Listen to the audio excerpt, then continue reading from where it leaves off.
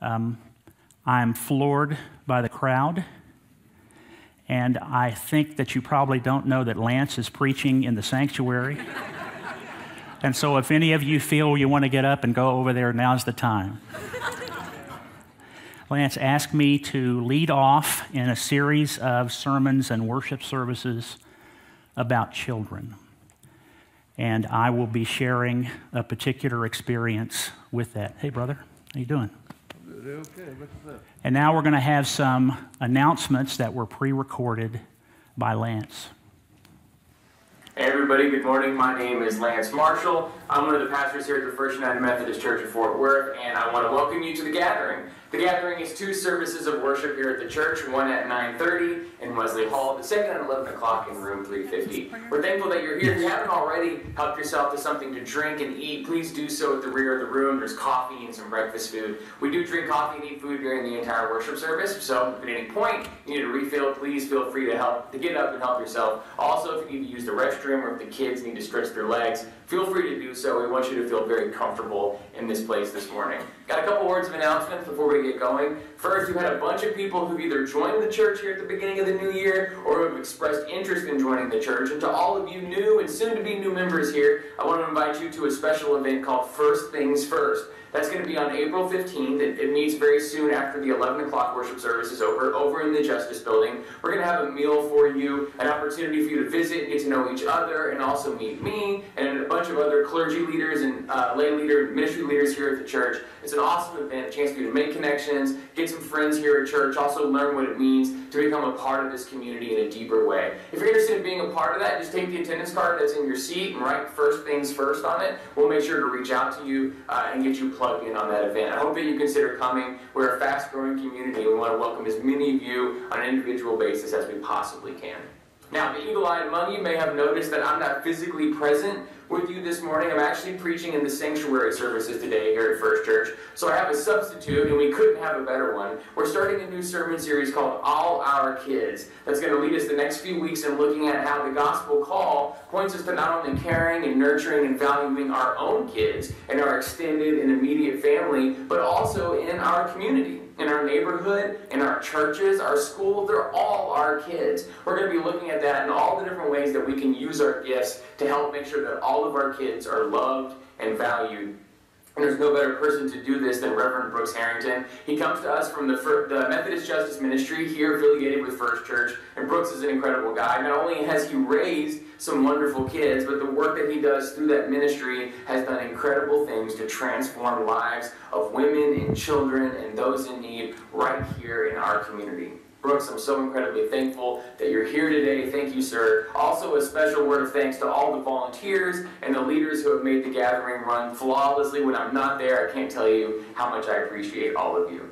Now, every time we come together, we pass the baskets. Two things go in the baskets. One are our attendance cards. As it comes around, if you're interested in getting a cup of coffee uh, with me or interested in joining the church or becoming a Christian, there's check boxes on the back of the card that you can mark off to indicate you're interested in those things. The other thing that goes in the basket are tithes and our offerings. Those are our financial gifts to support the ministries that God has given this church to do. If you're with us on Easter, you realize that we're welcoming thousands of people to the good news of Jesus Christ, and none of this is possible without faithful support like yours. So thank you very much for that. Now, Shalia is going to lead us in our invocation. Standard church rules apply. Shalia is going to read the leader portion, and we are all going to read out loud the bold and italics. Now, let us prepare our hearts and minds for worship as Shalia leads us.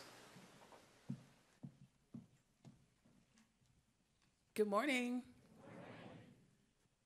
This is the good news which we proclaim to you Jesus Christ is raised from the dead. Walk in the light of his love live in the light of his teachings and healing mercies. Come, let us worship the one who overcame death.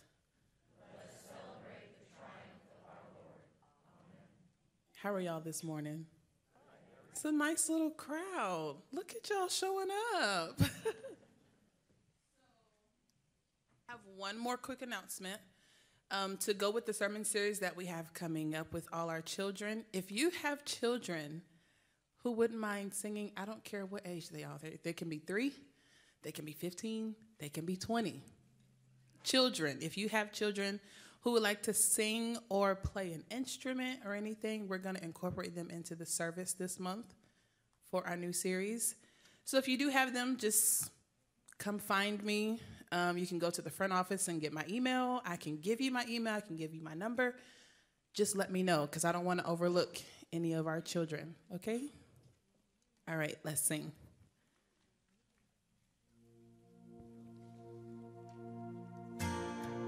Y'all know this song.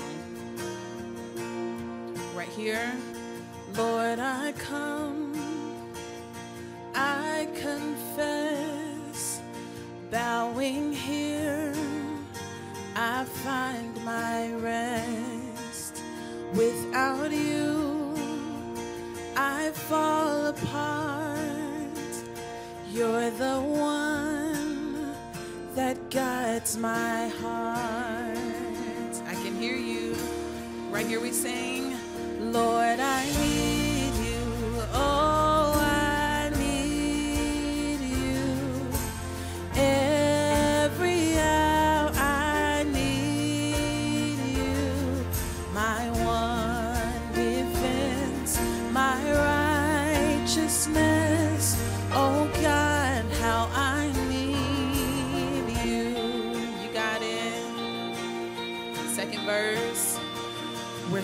runs deep, your grace is more. Where grace is found is where you are. Where you are, Lord, I am free. Holiness is Christ in me. Y'all sound so great. Here comes the chorus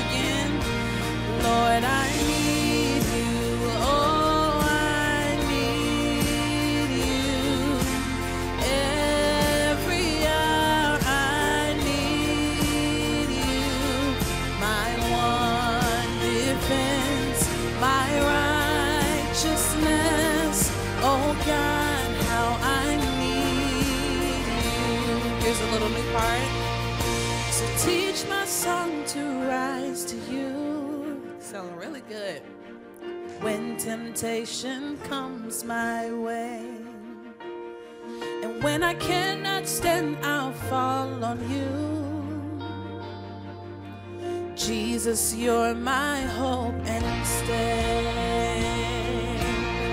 Right here, chorus again. Lord, I need you. Oh,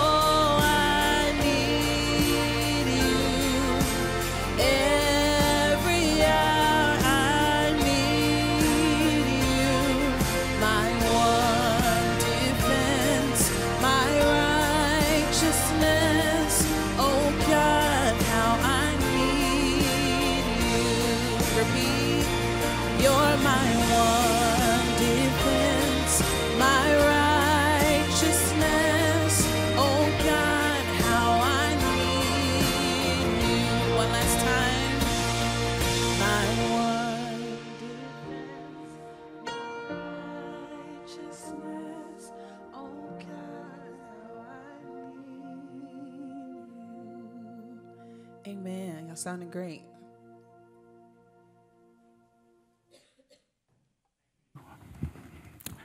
Now is the time in our service where we have prayers of the people. It's a litany, and at certain points in the prayer, I'll say, Lord, in your mercy, and then if you will repeat, hear our prayer. Let's do that one time. Lord, in your mercy, hear our prayers.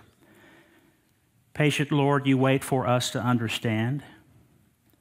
You wait for us to remove the blinders of prejudice, fear, unbelief, and confusion. You have offered to us the greatest miracle of all time, the resurrection of your Son. We sang and celebrated last Sunday, but a week has passed, and we confessed that we have too often slid back into our old ways of perceiving your presence and love. Shake us up, Lord. Shake us up and cause us to look with new eyes on our Savior, who comes that we might have life, abundantly serving all who are in need. Forgive our stubbornness and our complacency. Reach out to us so that we may reach out with healing love to others. And we pray this in Jesus' name. Lord, in your mercy, hear our prayers. Father, you have endowed all of your creation, including each of us, your children, with all that we need for meaningful, merciful, and joyful lives. Forgive us for worshiping other gods and running after things and activities that do not satisfy. Lord, in your mercy, hear our prayer. Jesus, you have shown us the Father's nature of mercy, love, and sacrifice. Forgive us when instead we seek after power and ambition and comfort. Lord, in your mercy, Holy Spirit, you seek to empower every one of us with your fruit of compassion, and particularly toward children in need. Forgive us when we pass them by. Lord, in your mercy, hear our Lord, we pray for hungry children everywhere. Lord, in your mercy, we pray for frightened children everywhere. Lord, in your mercy, we pray for abandoned children everywhere. Lord, in your mercy, we pray for those children and those young people in our families and in our care who seem resistant to our help and direction, who seem at times to have become lost. Lord, in your mercy, hear our prayers. And now, are there others for which any of you would like to offer prayer? Lord, in your mercy,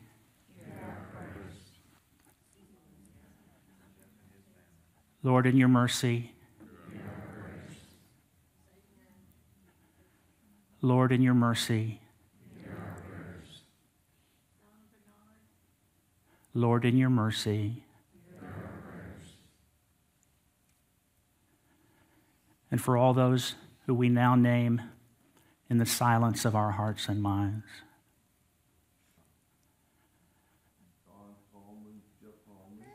Lord, in your mercy. Oh Lord, we pray to you in humility. We pray to you, we pray to you knowing that everything is in your hands and in your will.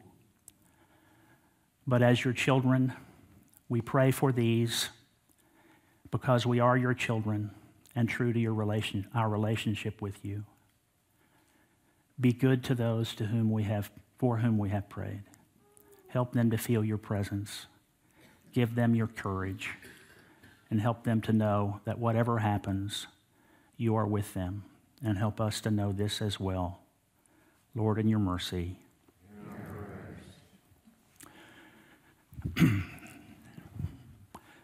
Could we have the scripture up, please? Lance wrote the uh, first prayer of the people.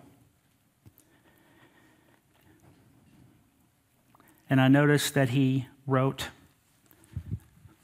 that we should pray for those who are in the greatest need. And so I guess that's why I'm leading off this series. Honestly, I did not sleep last night. And my concern is that my concern now and my concern then was that the stories that I would tell you of children whom I've encountered would be so disturbing to children who are in their midst, in our midst, that I really could not tell it. And then it occurred to me the irony of being concerned about disturbing children in this congregation with the disturbing nature of the children whom I've encountered over so many years. I'm a child of this church. I first came into this church in my mother's arms when I was an infant, and now I'm two months short of 70 years of age. As my wife tells, tells me, I've come a long way not to get very far. We do have three children and four grandchildren. Um, Our youngest grandchildren, Harrison, is now only about four months old. And as I think about that, I think that he's only going to be 82 years of age in the year 2100. Imagine. My father, who's a member of this church and is 99 years of age, was born in 1919. He still lives by himself. He still drives a car. He still plays golf. He even has a girlfriend. but imagine how much the life, life has changed for individual people since he was born. He was born on a farm. He plowed with horses when he was a kid. He went into the Army Air Corps and made his living as a pilot. The first plane that he flew as a trainer was an open cockpit biplane. And the last plane that he flew was a DC 8, which was a 250 seat jumbo jet, the first jumbo jet. How much life has changed in just 99 years. As I said, I'm almost 70. How much life has changed, day to day life, even since I was born. When I was born, we had a TV about that large. It was black and white, there were only three channels. I don't think penicillin had yet been invented. There was no polio vaccine. How much has changed just in my 70 years in transportation, in communications, in healthcare, in all of our individual activities? It used to be when I was a child, I would go to the bookmobile. Anybody here remember that? And I would go and get books, and I would read those books, select them very carefully because you could only get three. And I would spend my time in the summers out of school either by reading those books or by going outside and playing baseball with my friends in the neighborhood. Now, there was a great deal of silence, there was a great deal of time that I spent by myself. And now our children are glued to cell phones and to internet and to Snapchat and to Instagram and into other things that were probably invented last week that I don't know about. Who knows how life is going to change in the next 82 years when our grandson Harrison will probably live that long, given medical science, God willing? How much will life change? How much will your children change? How much will life change for your children?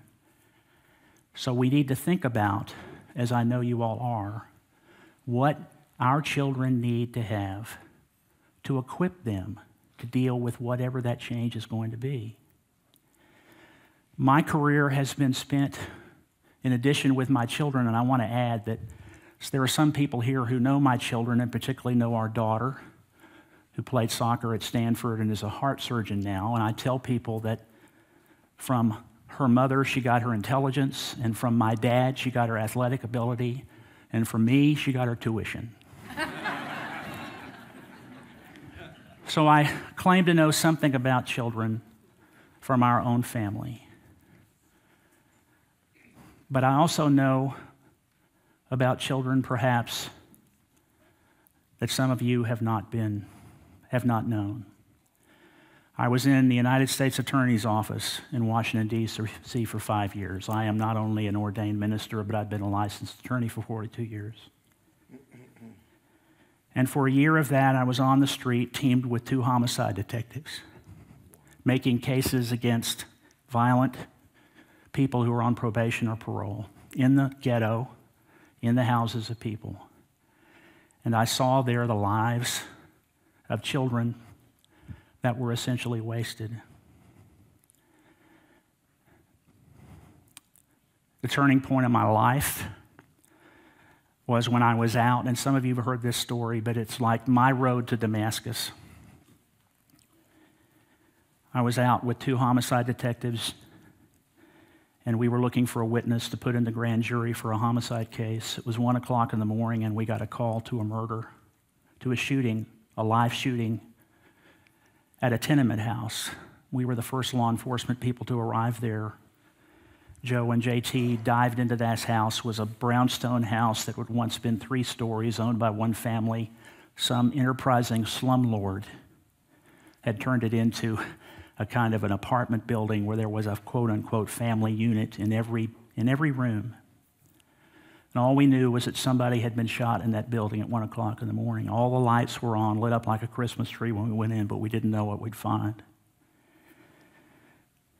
When we went in the house, all we saw was angry, hate filled faces at these three people, three men from law enforcement. All of us were Anglo when we came in. Not that we were their, their saviors, we were there to help, but will anger.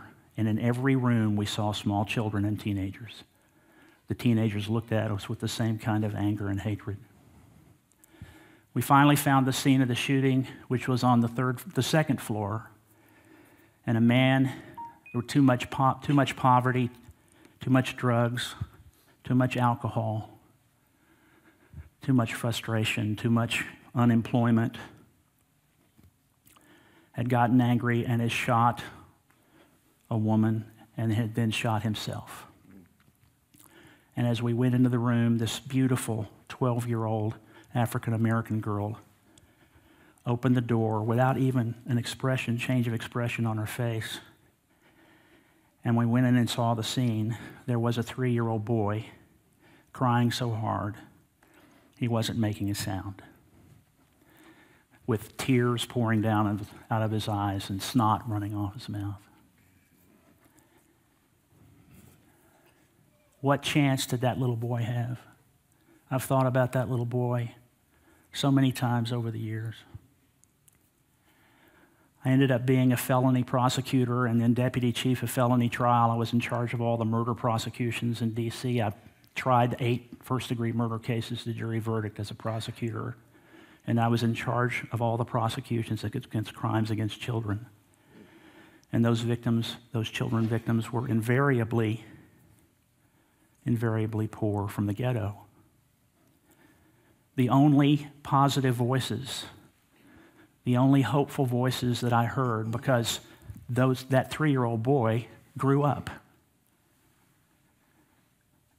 And the likelihood was that he turned to that same kind, that he, that he lived in a, in a life of violence, that he lived a life of unemployment, he lived a life of cynicism, he lived a life of self loathing. And so he turned to violence himself. And at the end of that treadmill of children of poverty into youth and young adults of poverty stood a person like me to put him in prison until he lost the urge to commit crimes. It was not a hopeful solution. It was no solution at all. The only hopeful voices that I heard coming out of the inner city were from those African American African American churches. I was in all those homes and saw all those children. And years later, after Maxine and I had come back here from D.C. to my home, she is an attorney as well and just retired as a law professor at Texas A&M. And I'd made enough money to take care of us for the rest of our lives. We had made enough money. I started dreaming about that three year old. I'm sorry. And in my dream, he would take me by the hand and he would lead me throughout that building to the other children who were there. And so, with the support of my amazing wife, and some of you here know her and real I can affirm that, I went into ministry and took an inner city church at Diamond Hill, which is one of the poorest parts of the city. At that time, it was 85% Hispanic, and maybe 75% of those were undocumented. And there was real poverty in that, in that neighborhood. And I was in those homes and I saw children of poverty who really came from very tight family units. And then, 13 years ago, I combined legal and ordained ministry with the Methodist Justice Ministry, which is a ministry of this church. And as many of you know, we provide free legal assistance to victims of family violence, but mostly of child abuse and neglect. We only help people whose incomes are at 125% of federal poverty guidelines. And some of my board members are here today. Stand up. Courtney, stand up. Jim, stand up. These are people who've supported me and supported this ministry. Amen. And I have at least one employee of the Methodist Justice Ministry and one former employee who was my right hand for 10 years until she quit me. Would you guys please stand up?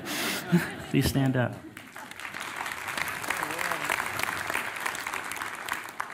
We get 20 to 25 new requests for help every week. In the past two weeks, we've received eight referrals of child sexual abuse cases from Alliance for Children. We deal with people who are seeking legal custody of children of poverty because their parents are not able to care for them. And most often, they can't care for them, they don't care for them because they were children of poverty. Now, the reason I chose, the scripture's not up there, but there was two scriptures. There it is. Okay, there's one scripture that describes the man in need in the famous parable of the prodigal son. And the reason why I included that there was that this was a man in need because it was his own fault. It was his own fault. He treated his father disrespectfully. He treated his father as if he were dead and demanded the property that, the, that would befall to the son if when the father died, as if he was already died. And he not only did that, but he abandoned him and went to another place, another country, and lived dissolutely and wasted all of his money. And then he was in danger of starvation. He was in great need. Jesus makes that point in that parable that regardless of whether we are responsible for our own suffering, for our own plight, to a Christian, there is still the calling of mercy. There is still the calling of mercy.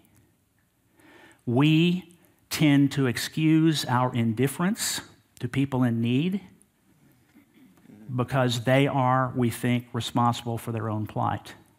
And one of the points of that parable is it doesn't matter. The Christian is called to be merciful, whether the person is responsible for their own plight or not. But then we have, and I've lost my sound guy, the second description of the, oh, no, I haven't. Uh, there was another man in need in the other famous parable of Jesus, the parable of the prodigal son. And there, Jesus describes a man who was not at fault at, own for, at all for his own plight. In fact, Jesus, in the genius of this parable, doesn't even tell us anything about him, just that he was set upon and beaten and left lying on the side of the road. Brothers and sisters, the children of poverty are lying by the side of the road, and it's not their fault. They are powerless to save themselves. And the parents of those children, we could say, if we stretch it, and I don't believe this, but we can say that they are responsible for their own plight and for the plight of their children. I do not believe that for the most part because of the lives that they were stuck with when they were children. But even if they are responsible for their own plight, as Christians, we are called to be merciful to them as well. Now, what is it like to be a child of poverty? The, the chances are much likely if you're born into extreme poverty that your one parent is absent and perhaps both. It's much more likely that one of those parents or both of the parents will be addicted to drugs like methamphetamine or cocaine or heroin or alcohol. You will be under stress constantly from the youngest age often being passed around from family member to family member and even to friend. You'll, your family will be facing eviction constantly. There'll be constant and intermittent unemployment, and there will be absent parents because they're working or because they're just absent, because the father, your father is unknown, you don't know who the father is, and your mother doesn't know who the father is. There is a much greater likelihood than with other children that one of your parents or both will suffer from untreated mental illness, from major depressive disorder or bipolar, even schizophrenia. Your life will be a matter of stress one stress after another. And most of all, and, and I would add that in the United States, 30% of all people who work full time work a second job, have to work a second job. That's weighted very strongly toward low income families. And what that means is that your parents aren't there, or your parent, the caregiver, is not there. And we see in case after case after case in which children are raising children. Studies are now showing that that part of the human brain that supports judgment, good judgment, and joy do not develop normally in children of poverty because of all of this stress.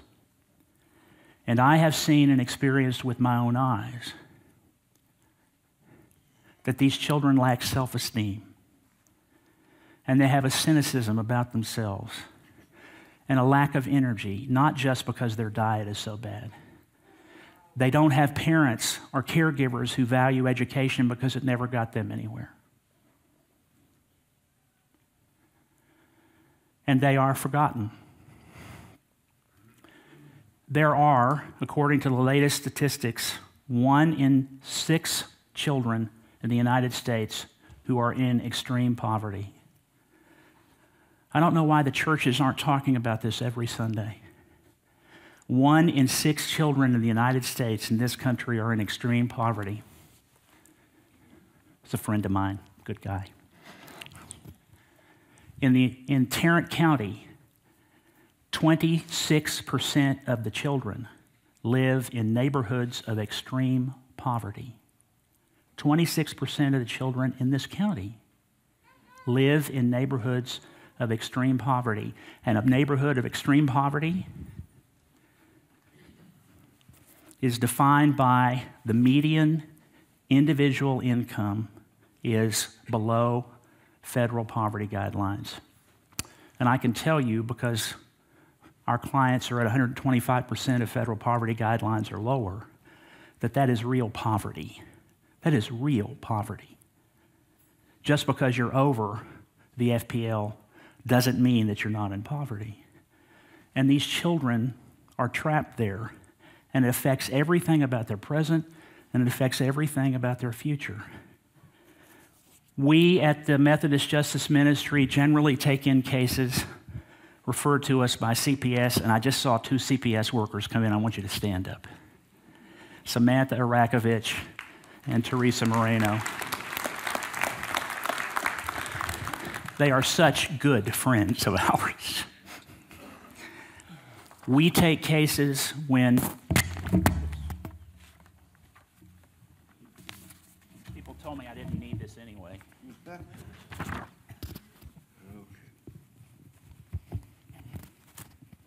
Thank you for your patience.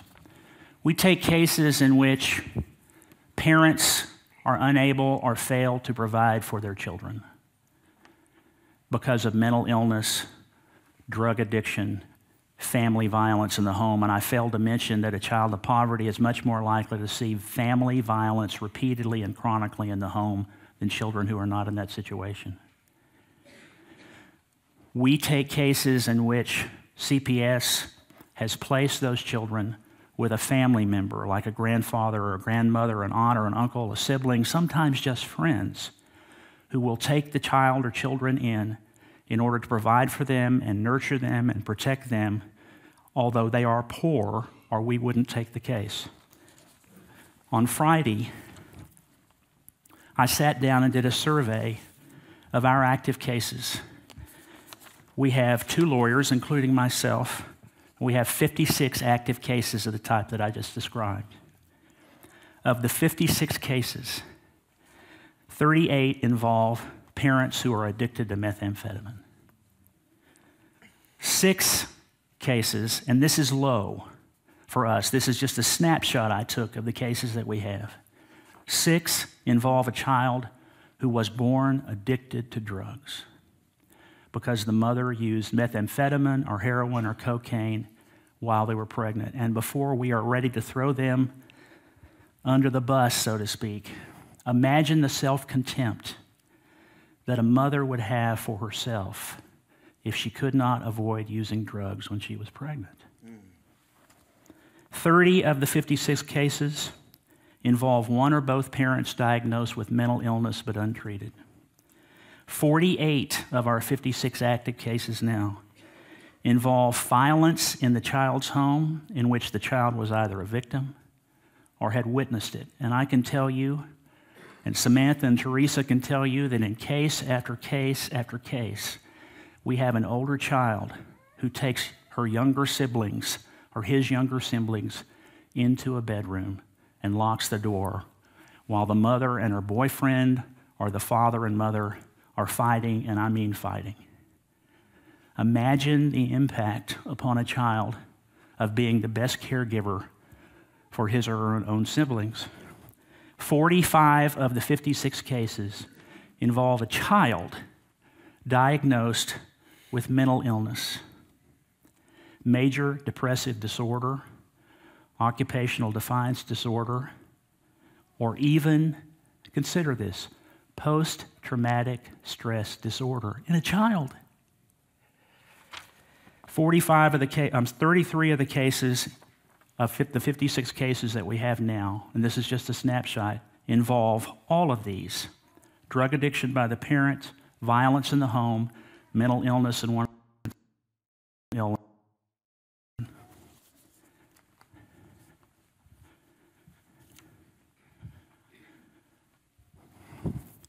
So many of us want to walk by. And we live in a culture, in a community in which the poor are basically separated from us in different neighborhoods. How much of our time do we spend trying to insulate ourselves from poverty and from people of poverty? How many children of poverty are in your child's school or daycare?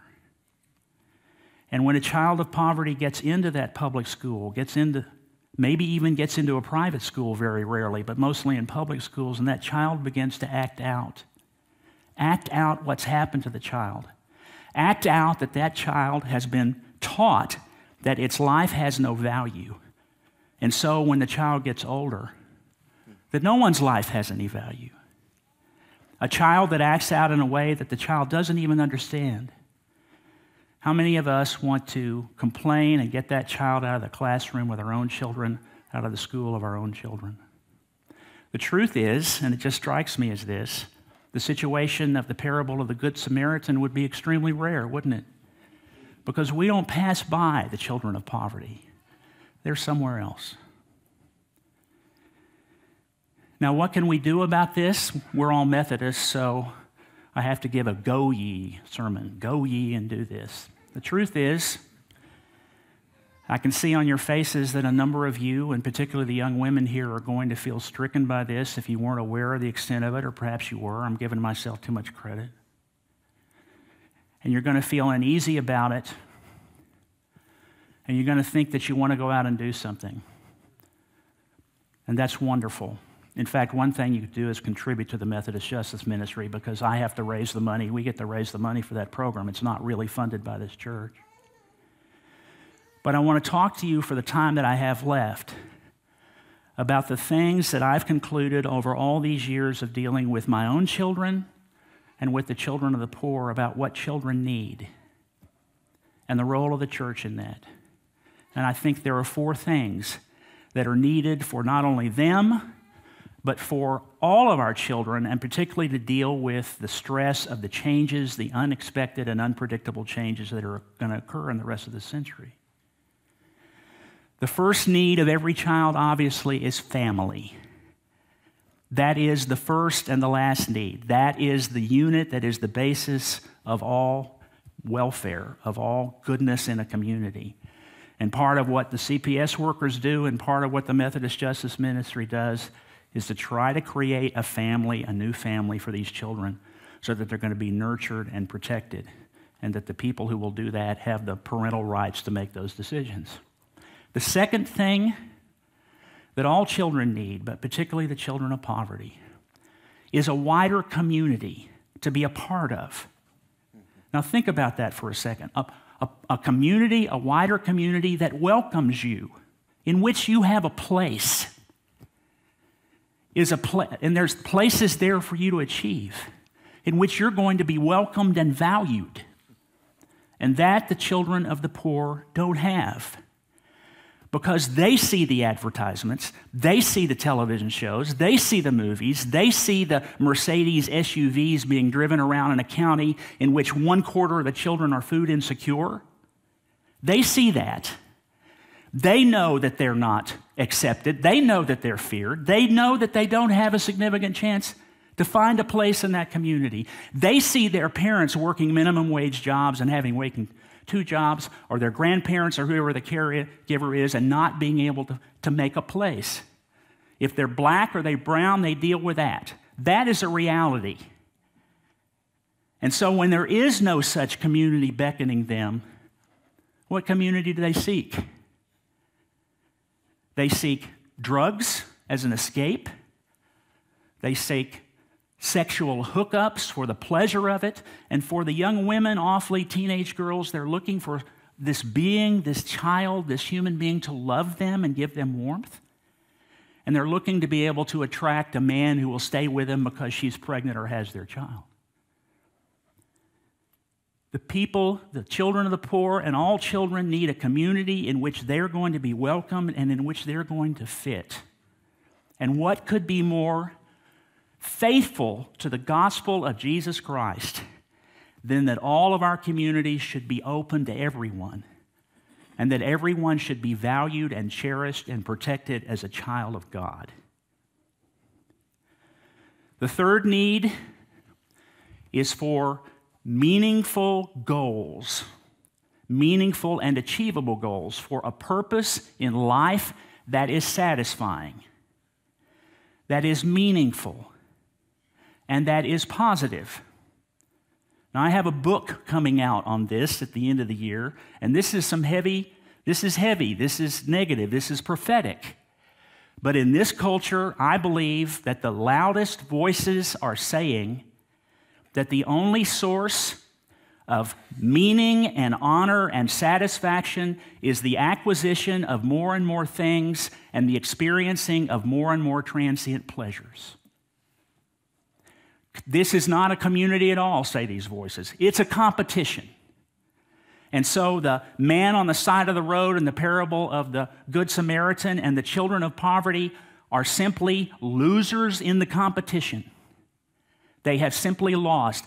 I was talking to a man just this morning who was telling me that all children, all people basically start on the side of the road and then they just have to build themselves up to where he is, which is as an architect. And I told him, You have no idea. You're never on the side of the road like the children of poverty are. Ever. And so the children of the poor absorb this narrative, this primary story, that the only way to be successful, to be anybody, to be happy, is to achieve and acquire more and more stuff and more and more pleasure. And they try to get that stuff and they try to experience that pleasure any way they can. They don't have the means that my children did, they don't have the means that other children do. And so that leads to the pleasure of drugs, and that leads to the pleasure of these promiscuous sec- sexual hookups. That leads to all the pregnancy and abandoning children. That leads, frankly, to crime. Methamphetamine is the plague of drugs in this county and in this state. And the nature of methamphetamine is that it's like a hallucinogen. It's not so physically addictive as it is psychologically and emotionally addictive. A person who takes methamphetamine is transported into another world in which they are all powerful. It's an escape. We all need to learn, our own children need to learn that just acquisition of more and more stuff and more and more transient pleasures feeds our bellies, so to speak, but not our souls. That the goals and purposes of life that feed us, that strengthen our souls, that lead to a truly satisfying life are the virtues that were taught by Jesus of sacrifice and love and fostering community, family, hard work. Those are the sources of all happiness, not stuff and not things, and not treating the poor as if they just lost the competition and blaming them, but particularly not children of the poor. And the fourth thing that we all need, and this is the hardest thing for me to articulate, but something that I'm, I'm convinced is more and more true every day I live. The children of the poor need not only to be equipped with the inner strength, the inner regard, the inner self respect to weather the storms that they have to weather. But they have to learn that what is inside them is the true source of all happiness. That virtue, that character, that that spark of the divine that is in us all. And all of our children need to learn this that, that happiness doesn't come from the stuff, the internet, the Instagram, the, the hookups, the cars, the vacation, that that's not truly the source of happiness and satisfaction, that the source lies within us. That within us, in the quiet, is that image of God, and that in that is the source of all happiness. That means we have to tell our children no when they want stuff. That means that we can't just hover over them and help them do everything. They need to learn to do things for themselves and develop their own character and their own strength. But nowhere is that more important than with the children of the poor. They need family, they need a community that will welcome them and forgive them and nurture them. They need purposes in life that are satisfying and achievable. And they need to learn that the source of all happiness that the source of a truly human life is within themselves and not within something they can acquire. All right. That's all right. That's all right. What could be more in tune with the teachings of Christ? How many times did Jesus tell us in his teachings and his life that happiness doesn't come from the acquisition of more and more stuff? That happiness and satisfaction and joy comes from service and from love and from nurture. I'll leave you with this.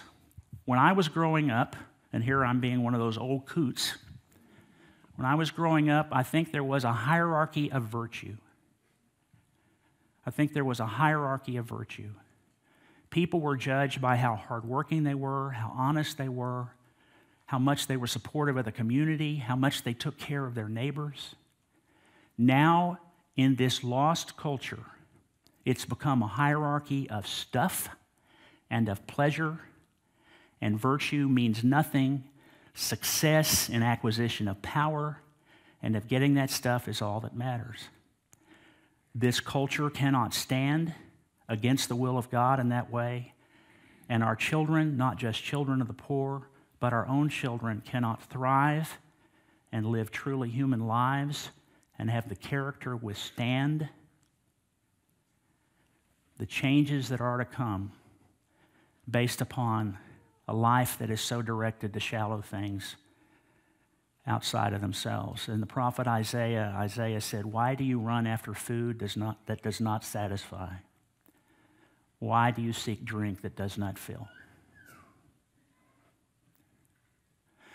What the church needs to do is be the church.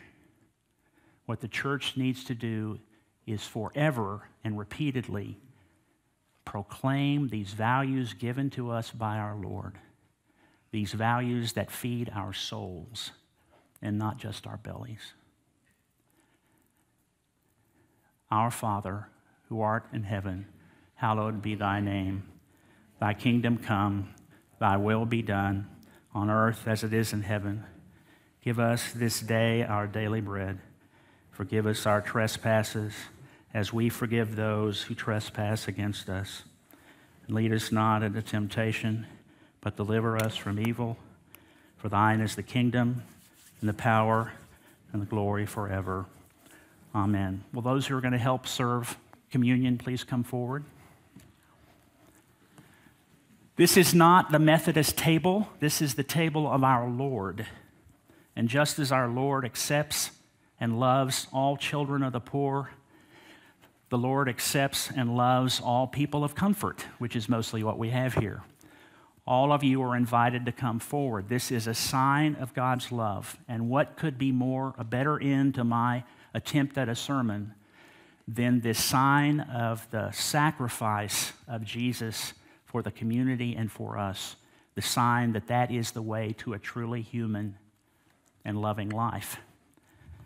On the last night that Jesus was with us before his crucifixion, he sat with his disciples and friends and took a loaf of bread and gave thanks to God his Father and our Father, and broke the bread and gave it to his friends and disciples, saying, Eat of this, all of you. This is my body, which is broken for you. Do this whenever you are together in remembrance of me. Likewise, that on that night, he took a cup of wine. This is a cup of unfermented grape juice. Gave thanks to God, his Father, and our Father and said, This is the, my blood poured out for you for the forgiveness of sins and a new relationship with God, for the creation of a new community. Drink of it whenever you are together in remembrance of me.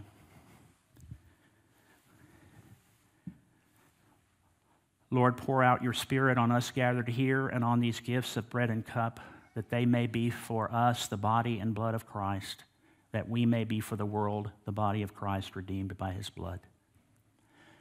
Amen.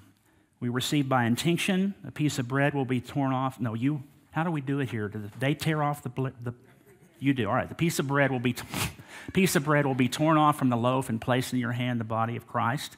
They will then take it and dip it in the cup. I got that right. That's the blood of Christ. All are invited. For any of you who are, have gluten allergies, there is a station somewhere with wafers. Is that right? Do we know? Yes. It's over there. It's over there. Please come to the table of our Lord. Sorry.